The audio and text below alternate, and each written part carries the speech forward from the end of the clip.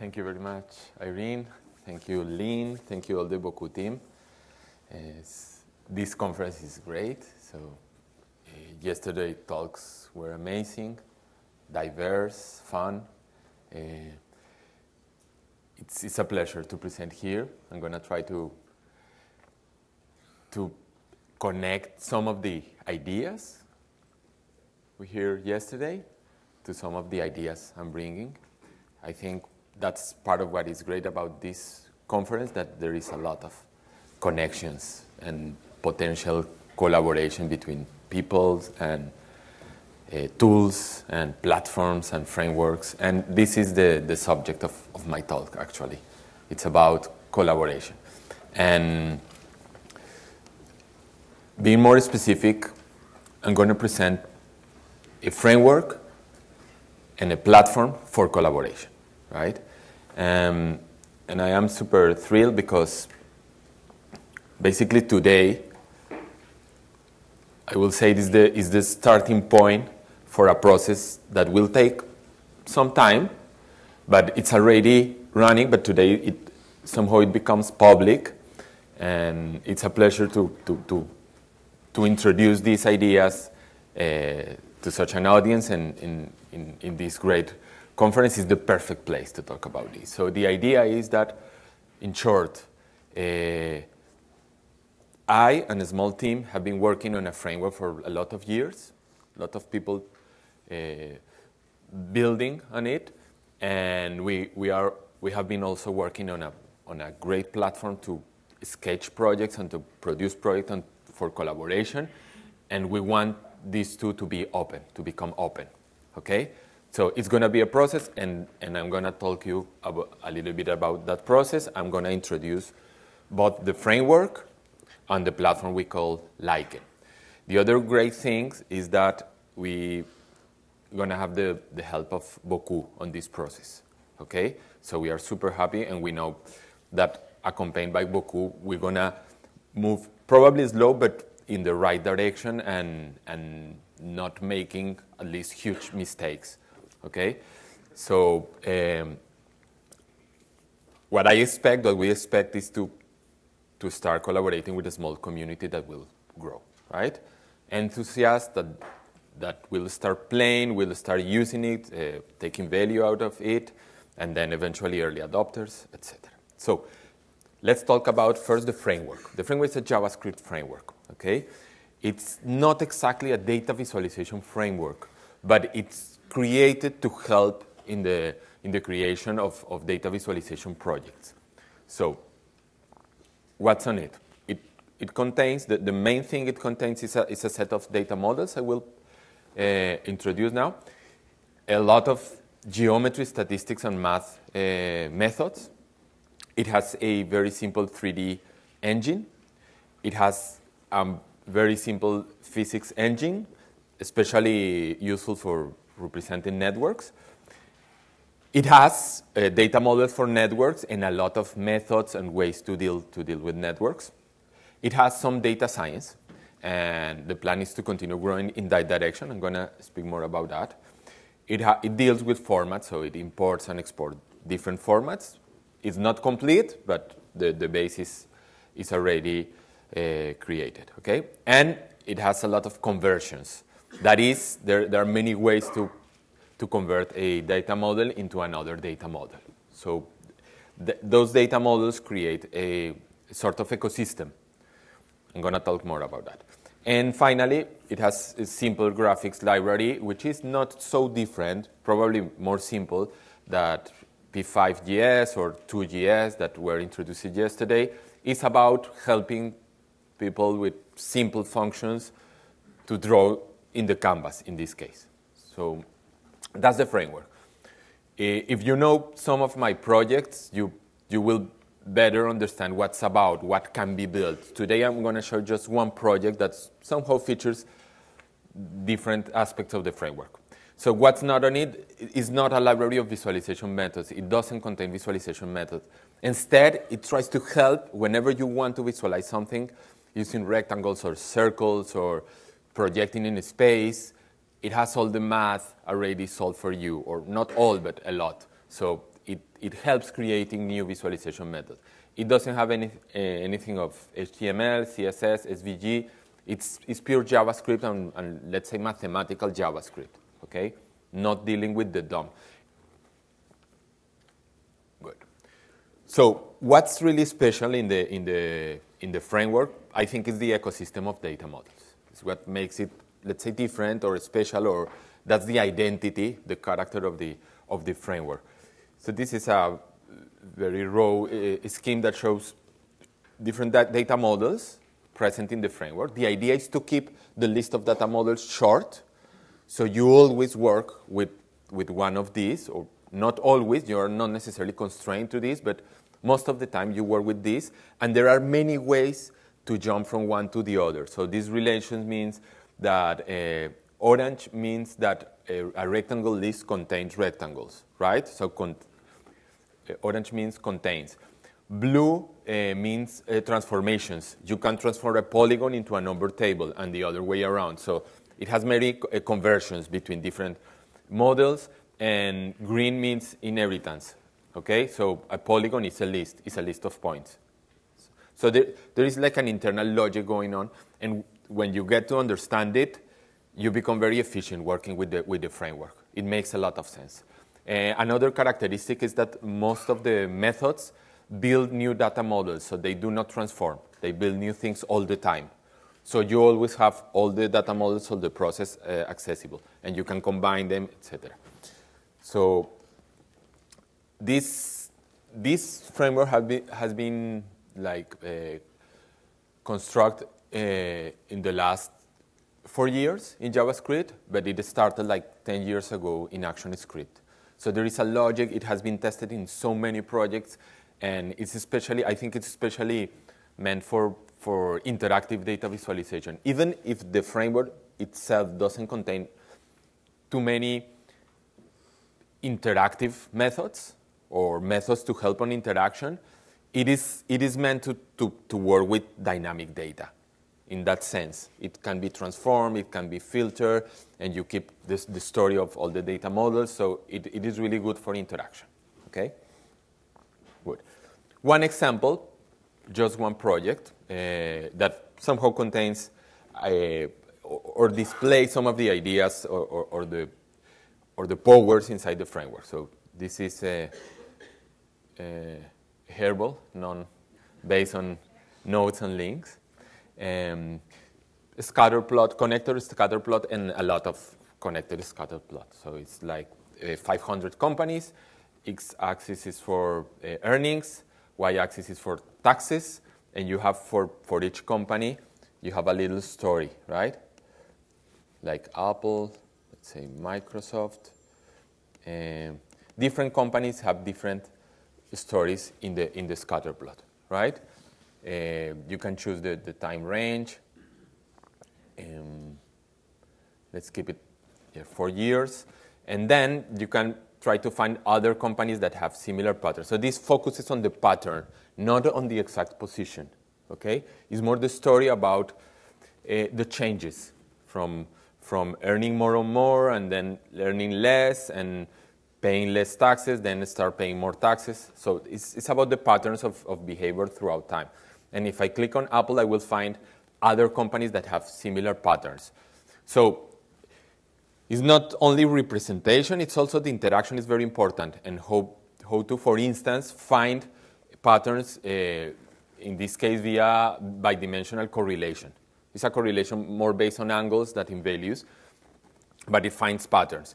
Actually, you can draw your own pattern if you want, and it will find the companies that follow that pattern. Okay? So these kind of functionalities that are closer to, to more uh, analytical processes, you have a lot in the, in the framework, right? And then you can do things such as visualize small multiples, find clusters in the data.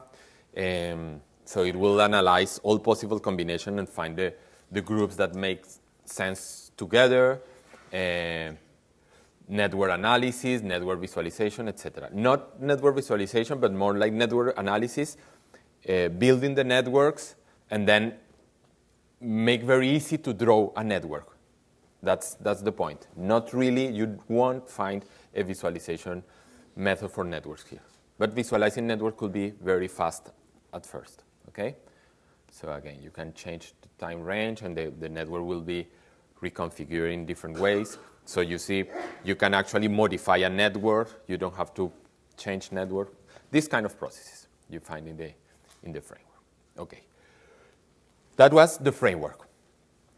But maybe more interesting and, uh, and, and probably more useful for more people is Lichen, which is a platform for collaboration that it's currently based on the framework, but it doesn't have to be that way. It, it could use uh, other frameworks. Let me explain. So for that, I'm going to do a very simple demo here. So this is it. This is Lichen. so you have a menu, right? Where to uh, a search, menu where to search. So let's say I want to create a network, a random network, because instead of loading a file that describes a network that could be possible, I'm going to create a random network. And I have some methods here. So where Lichen finds those methods? Basically in the framework that builds Lichen. So it's like Lichen is reading its own, the framework that is used to create itself, okay? So I don't have to specify things outside the, the, the, the, the framework. It's, it really reads the JavaScript code and find the methods and create uh, the access throughout the menu, right? And if the method is well documented, you have all the information you need to use, in this case, this, this simple module. So number of nodes, and probability that two nodes will be connected, and that builds a network. So I have a network in this side. Okay, so I can continue the flow. Good. So what, what can I do? So if in the framework there's no visualization methods, what, what we do have are several visualization methods that are basically projects built with the framework. And we call those uh, external modules. So I'm going to load one of these using the external module. And it's called Network Viz. It's in, uh, right now it's local. It's in the in the same folder as Lichen. So that's why I didn't have to type an entire URL. But the, the external module is meant to to load any website, anything on the internet. That's the interesting thing about the external module. So if I, for instance,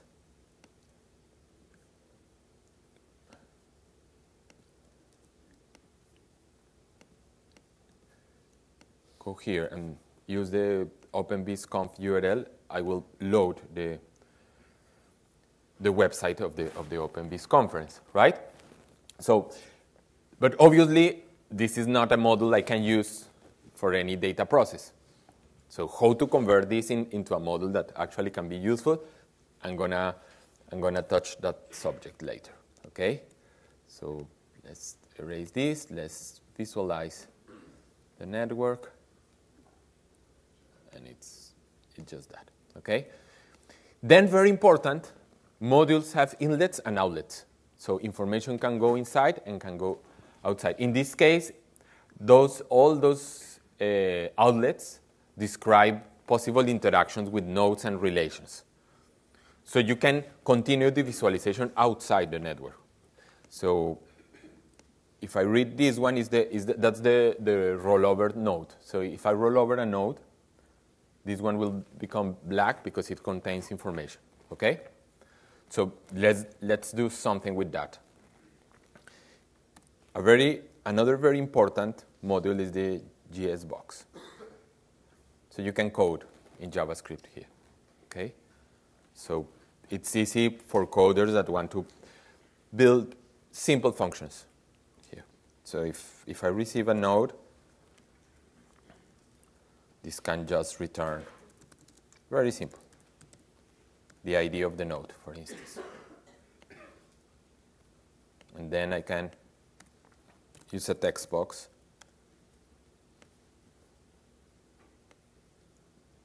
Yo, to this, just to display this, this ID. Okay. So it's, it's super simple. Okay, obviously, this can grow in complexity and, and become much more interesting. And I will show you uh, more interesting, more complex spaces, right, built on this, on this platform. Okay. So as I mentioned, it visualizes its own code. It reads, it's like a bootstrap. It is really reading the classes that build, build it and identify methods and put it on the menu. But you can load your own framework. So it doesn't have to be the Moebio framework. It could be any other framework. Eh, it's better if you docu document the methods, because that way you will find in the platform the methods with the documentation. But if not, it's okay. It's also possible to work.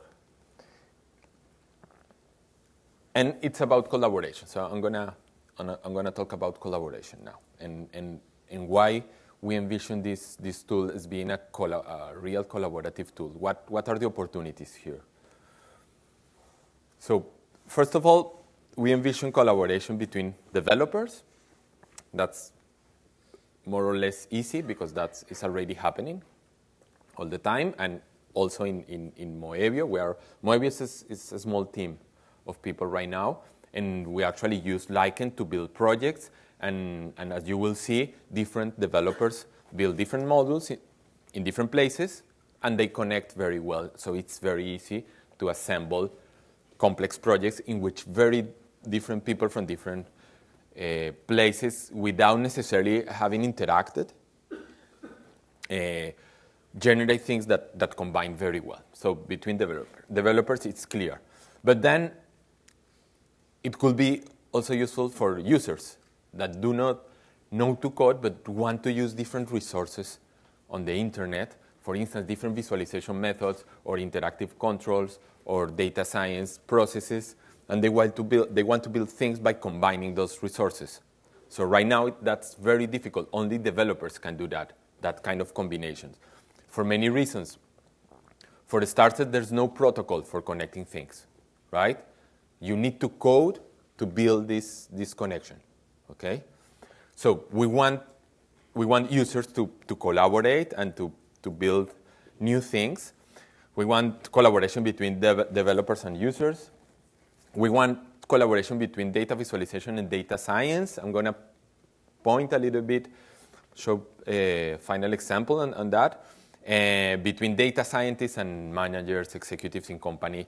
We, we, want to foster that communication, and this platform helps to build processes that you can tune in real time and, and affect models, etc. Um, and collaboration between different tools, languages, and frameworks, right? So, that ends. Right now, um, when when people build solutions, for instance, visualization methods, such as this great uh, open project called Pivot Table, yes, which is basically a way to visualize tables, but in a very interactive way. It allows people to pivot the features of the table and to build new tables. So when people create these kind of beautiful projects and things, and they are generous because this project is actually in GitHub, so they want to share. They, they expect other developers to maybe extend the code. We, we have heard a lot uh, about these processes yesterday. But again, only developers could use this in a way it can connect with other things. Normal users could eventually attach their own data to this visualization and analytical uh, uh, widget. But they cannot combine it. It's just connect data, and it stops over there. We think it's very easy to transform this into something that can actually be connected with other things and no code uh, required. So I'm going to explain it later. So this is what I call dead ends. And look all the potentiality to connect this in, in, the, two, in the two directions. First of all, receiving data, obviously. Um, it receives a table.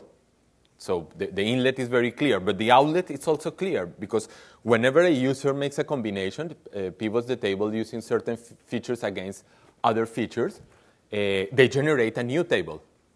So this could be a result that could be eventually connected with other processes or other visualization, further analysis, etc. So it will be awesome to, to, to being able to, to do that. But right now, only coders, again, right? So I call this dead ends, and in general, um, that's how developers, even developers that want to share and that, that want their, their, their developments being used by a broad community, build things, right? So that's why I call this this culture of developer of, of products being developed by developers as dead ends, right?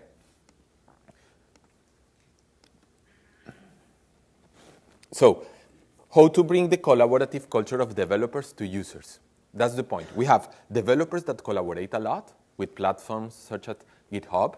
They interchange code, they modify code of others, they, they open their code. So it's, it's a great community but then, outside this frontier of, of, of knowing how to code, users can only just use some of the results these developers are building. How to make the users part of, of this story as well. So that, that, that's a model, a simple model of how it could look if we open collaboration between users and developers. So this, the, the clusters right now is just one single cluster of developers, a big cluster of developers. But in the moment you open collaboration with the, with the users community, which is actually potentially bigger, like new clusters appear and that are more diverse, but that are also interconnected. So it's a more interesting structure, right? It's like another level of complexity. And that's what we expect. So we have been reading a lot of books about collaboration and taking a lot of ideas from biology, also companies, systemic thinking, history of innovation, and, and there are a lot of ideas and methodologies and common things that happen in, in, collabora- in collaborative structures. So we are relying on many of those ideas to, to build a platform that really foster collaboration. So one of the, of the key things of, of this platform is obviously modularity. So what can you do? Now, now I'm going towards the, the technical and pragmatical issues. So this pivot table, for instance, how to convert this, this fantastic visualization into something that connects. So our proposal and what we use in, the, in this Lichen platform uh, requires that a website or a visualization such as pivot table contain just these three functions available in, in the global scope, and only with that it will work. So you need a send ready message that will be triggered in the moment the, the, the, the website or, or visualization uh, has been completely loaded and then a receive data function and a send data function. And that's all. Okay? And only with that, you can convert something that is a dead end in something that can flow and can be connected with other results. Okay? We have been studying a lot of modularity as well, obviously, and finding a lot of examples in nature, in culture, in different scales, and, and being inspi inspired by, by this. Look, this animated GIF, I can change speed. Okay, so now I'm going to jump to, to more complex examples in Lichen, uh, and also to, to point some of the ideas I presented and um, how they work here. Okay, so this is information about uh, bank transactions. It's time series, yes, and categorical data, different services throughout time, different days, boring data, but it has sort of very interesting structure, a time structure. It has rhythm, right? So when we, this is just one day. When we visualize this at first, we, we immediately realize, and, and not only us, but uh, more people, when looking at this, thought on music immediately. So we decided to run a, a parallel experiment of how to sonorize this. So we ask a, a developer that that work with sound in JavaScript to build a very simple module that will re just receive a, a list of times, right? So it's a number list, points in space, and with other parameters, we'll, we'll just play the sound of this time series. And in a way, it will be easy to synchronize graphically and eventually timely to other modules. So the good thing is that this developer doesn't know anything about Lichen. We asked him to put uh, these three functions I mentioned before in its model. He placed it on, on his own server, and we connected, and it worked immediately. And then we sent the result to him, and it was like, okay, that's interesting because I built something very small, and then I receive a bigger context in which my model works. So this works.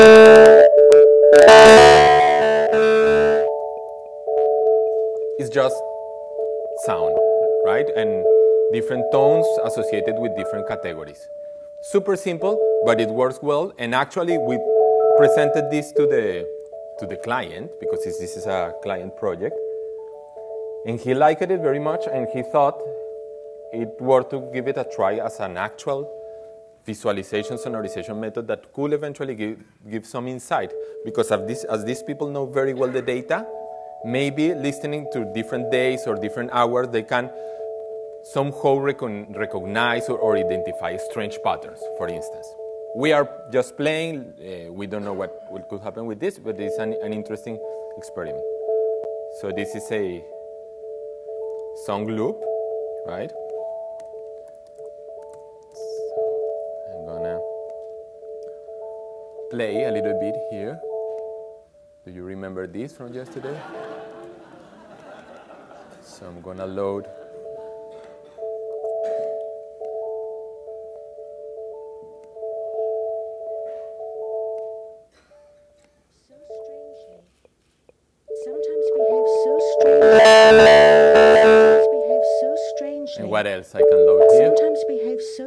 strangely. Sometimes behave so strangely.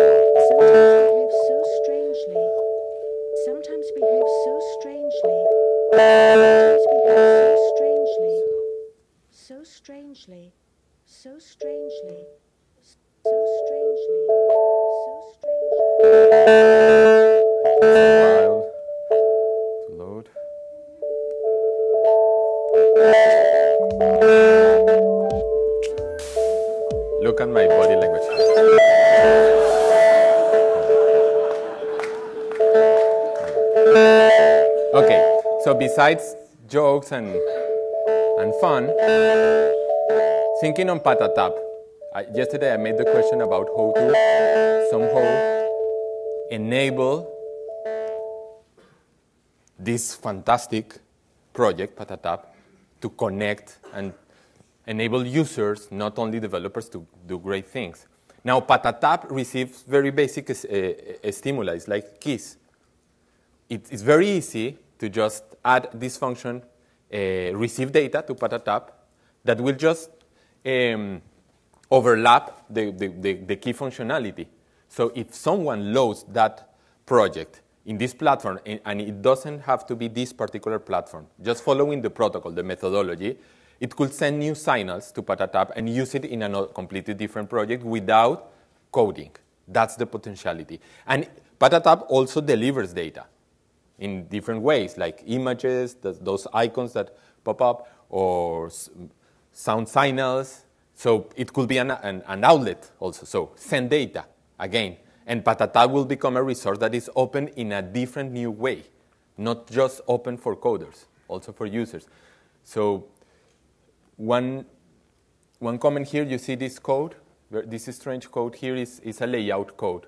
It's a sort of CSS to choose some of the boxes of the modules and to build a layout, placing, placing those boxes in the, in the window. I'm, I'm going to show you an example of how, how to build a, a, a layout. Um, but now I want to go here because I want to show you how pivot table has been actually modified to, to be a model. So what we did, this was uh, Danny uh, from Moebio Labs that this, this, and it took him like maybe one hour or two hours But if Nicolas, the original developer of this resource, uh, for him, if he, he will try to, to connect, it will be like immediate because he knows the code. So add this receive data and this send data will be for him like a no-brainer, right? To Danny, it took more because it, it wasn't his project, but he managed to somehow connect and create this inlet called table. So now we can introduce any data. It's the same, this is the transactional data. And then we haven't finished this, this model yet, but it, it, will, it will make a lot of sense to also deliver a table, which is the table you build by interacting here, by combining, pivoting different uh, features. So, and pivot table will not longer be a dead end. It will be something that can be used in a, in a more complex projects, in a more complex flow, right? Um, let me go back to the presentation. So if you want to be notified about the, all the plans for opening a Moebio framework and Lichen, please go to my website and you will see there is the, the project Lichen is over there. You click on it and then you, you can just subscribe to a mailing list. So that's what we have for the time being. But again, things will be move slower, but will be moving. So little by little, we'll be opening access to, to more and more people and, and delivering parts of the, of the code, working along with uh, Bocoup it's almost guaranteed that, that the code will deliver it's, it's high quality code and it makes sense and could be really used. So just for finish, and then we can go to questions. I think it's, it's a good idea to, to extend the questions time. Um, this is a project built with, the, with Lichen. So obviously all these boxes uh, in the platform look like a sparsed concept in uh, uh, boxes or, or visualizations or, or interactive tools in the, in, the, in the big space, right? And then they are connected and they are connected with code, me methods, etc. With this layout code, we build this, right? So this is a project for a car manufacturer in Europe, and they have, this is a lot of data, at least it's a lot of data for the client. It's more than 100,000 100, data points about people buying cars, okay? And we have a lot of information for, from all those people here. So the first iteration we built for the client in was a space where they could explore by filtering, following a lot of different criteria. So you can filter data by, by age, by gender, by the maker of the car this person bought, or the family, or the model, and also they have very interesting data about what car this person had in the past and what car this person wanted to buy and what car this person actually ended up buying. With that uh, triplet of cars, we built very interesting networks. They, there are somehow churn networks because it shows how some people want to buy a car but ended up buying another. This network is basically the network of the market. But then in this, in this iteration, working in this first iteration, working with the client, they became very anxious about finding interesting combination of filtering. As the number of filtering is, is, is, very, is, is really big, and they, they were trying to find, for instance, particular cases in which churn is very low or particular cases in which churn is very high.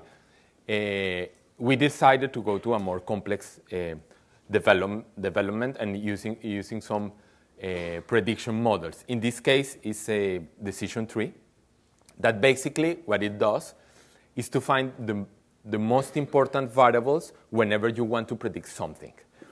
But again, instead of following an, an analytical process, creating an, a result from the model, and then delivering to the, to the marketing team that will be more or less the, the, the standard procedure. What we did is to allow them to build their own models or at least to tune their own models, starting by deciding what, why they want, what are the variables they want to predict, right? So the table contains a lot of uh, features and they can choose which, which is the one, which are the one they want to predict, and then which are the one they want to use to predict these other variables. So this combination uh, already is very powerful for them. They can play a lot. Uh, and then they can choose the country in which they want to predict, or as in this case, it's like all the countries are selected. So they can also narrow the, the table they will use for the prediction, etc. And then with that, this visualization method gives an idea. In this case, the, the predictive, the, the supervised variable is female. So we want to predict uh, if, if the buyer of a car is a, is a female or not, right? We want to predict gender. And for that particular task, the decision tree tells the marketing team that the most important feature is the price. So if you go to these uh, cheaper cars, you will see that the probability of, of, of the buyer being a woman is, is higher. It, the, the, lift here is almost two, so almost twice as, as likely that, that the buyer is a woman than the average, right? And the opposite, the, the, very expensive cars are very likely to be bought by, by men. But then, this is just the first variable. Then you can navigate, for instance. After prices, it seems that country, in certain cases, is the most important, and in other cases, is ages. If we go to countries, we go deeper, etc. So, and we can find pockets in which probabilities are very high or very low. All the pockets are organized here. So this is, this is a uh, predictive analysis visualization. But the good thing is that it has been built to foster collaboration within a team. In this case, marketing team with more analytical people in the company. And it is working very well. So it's also part of the, of the aims of the, of the platform to start combining uh, uh, adding more data science to it, a layer of data science that will run on the client, on JavaScript, which is obviously not enough for, for, for very hard tasks. But then we are also adding a, a data science capabilities in, on the server. So it's, it's very easy to create models that co communicate with services in, in a server. So we already have some, some uh, models, or, or we have linked uh, frameworks such as uh, pandas from Python, and models allow to, to communicate. And what you feel is like you are doing everything on the client. It goes back and forth. It works very, very well. So we have also a methodology for these cases in which we sample from, from, let's say we have a very big table, impossible to load all the data points to the client.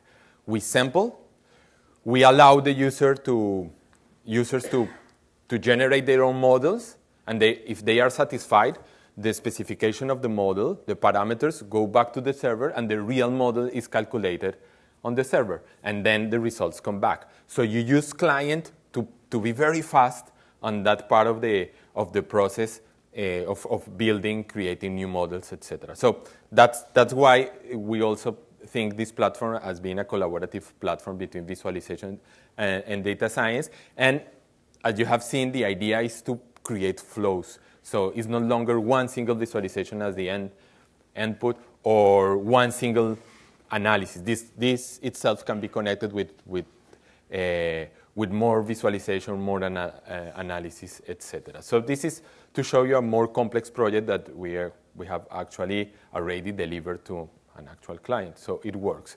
Uh, right now, to export a project, you actually do not export it. It's linked to to the core of, of Lichen. But in the, in, the, in the near future, we plan to allow people to export their projects. So they, they will be completely autonomous. If they use Lichen, for instance, they will export something that it's just a, an autonomous folder that they, they can uh, publish on, on their servers. That's, that's the idea. Okay, that's it. Thank you very much.